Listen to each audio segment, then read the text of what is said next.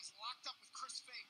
It's the best freshman offensive player going against, against the best freshman defensive player. Watch the two-handed cradle,